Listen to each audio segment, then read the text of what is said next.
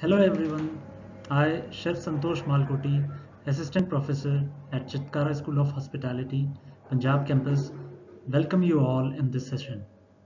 In the previous session, we have discussed about the brines and cures. And in today's session, we are going to learn about marinades, which is again an essential aspect for the preparation of charcuterie products. By the end of the session, you should be able to define what is marinade, identify the various kinds of marinades, and differentiate between brines, cures, and marinade. So let's start. A marinade is a seasoned liquid with various aromatics in which meat, poultry, game, and even vegetables are steeped.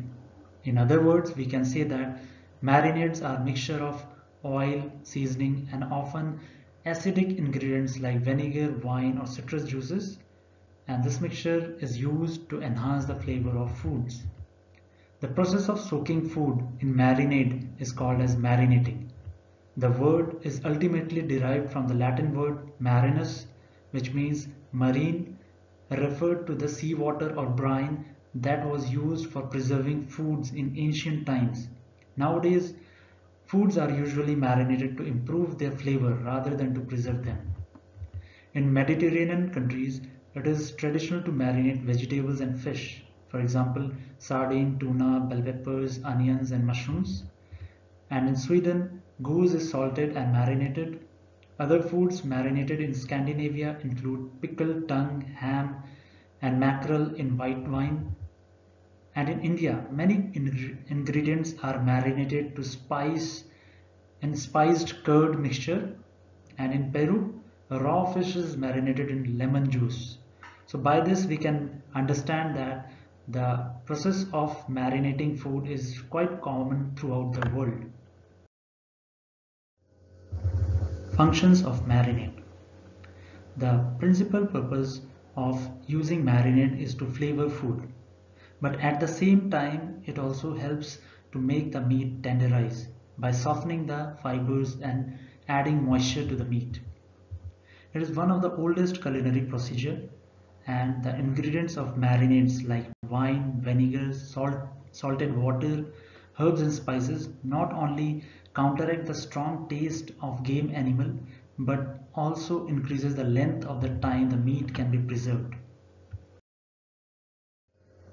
Elements of marinade. A good marinade should have four key elements. The first is seasoning. The seasoning should come from a good salt component balanced out with a little bit of sweetness. Primarily salt, sea salt, black salt, garlic salt, rock salt and grain salt. They are used for this purpose. And the second is an acid. This helps break down the protein and make your meat really tender. A whole range of acid products can be used into marinade. Citrus fruit, vinegars, lemon juice, yogurt, red and white wines are generally used. The third element are herbs and aromatics such as garlic, onion and even chilies. And the fourth element is a fat to bring it all together.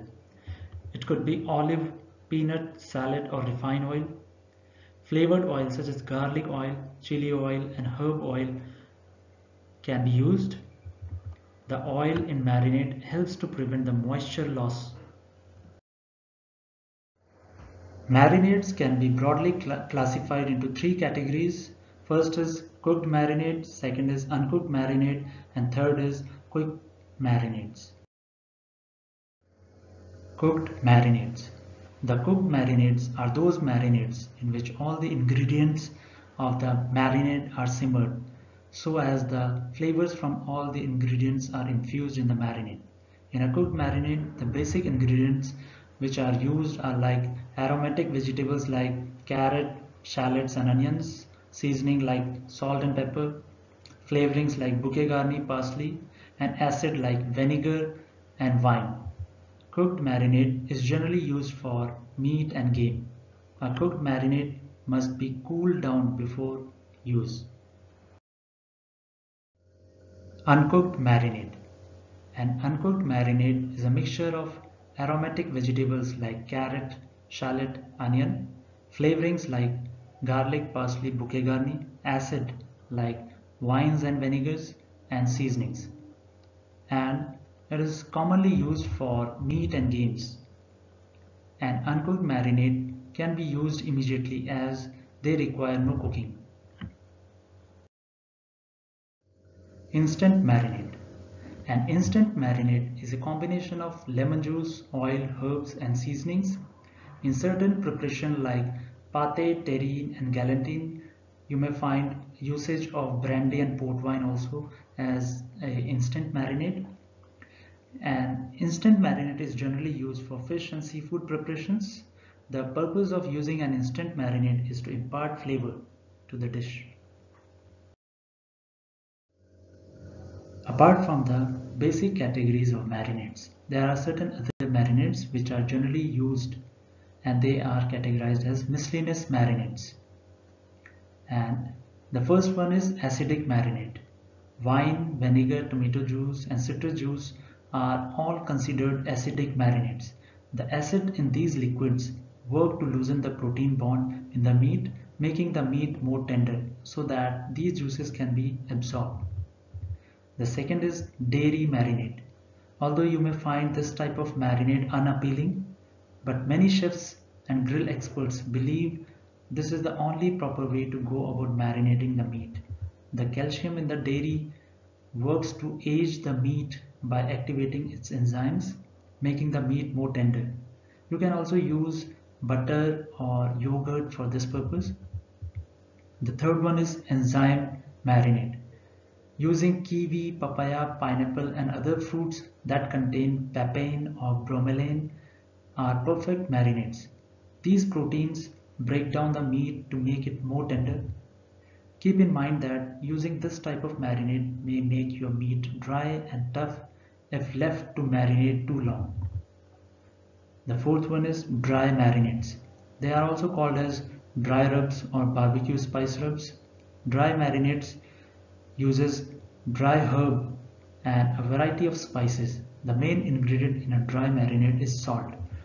The salt in a dry rub works to break down the proteins of the meat so that other flavors can be absorbed. To dry rub a piece of meat, it's important to first coat it with lard, oil or water so that the rub can be pressed into the surface.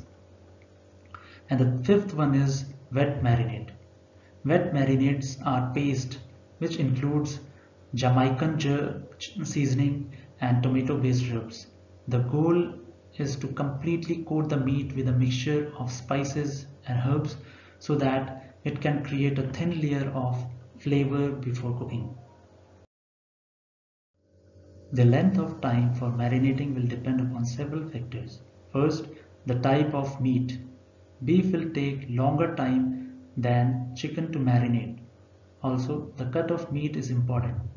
Tenderloin will need little marinating time compared to the rump. Second, the size of the item.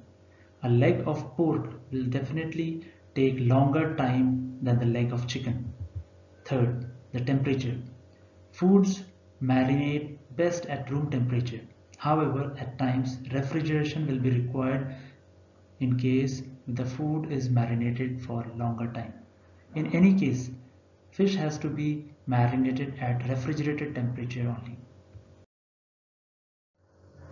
To marinate the food items, non-corrosive containers made up of glass and stainless steel should be preferred and containers made up of plastic and aluminum should be avoided.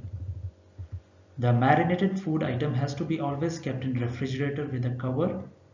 In general, the food that is being marinated has to be turned in regular intervals for even flavorings and the food should be removed from its marinade just before cooking and it has to be drained well. In the case of fried or roasted items, the marinade may be later used for deglazing or to make accompanying sauces. Marinades are a great way to infuse flavor, but be careful not to let it marinate too long or they will start to cook the meat from the acid, especially in case of seafood In this slide, we are going to discuss about the difference between marinades, brine and cures.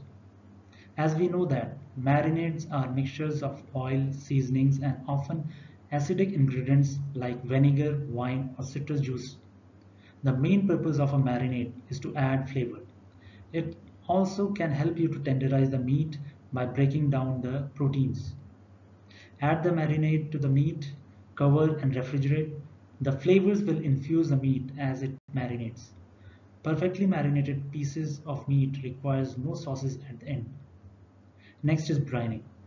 Brine is a solution made by simmering water with salt, curing mix, flavorings and sweeteners.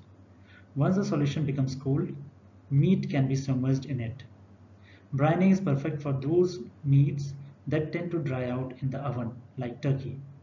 The end result of brine process is always a super juicy product.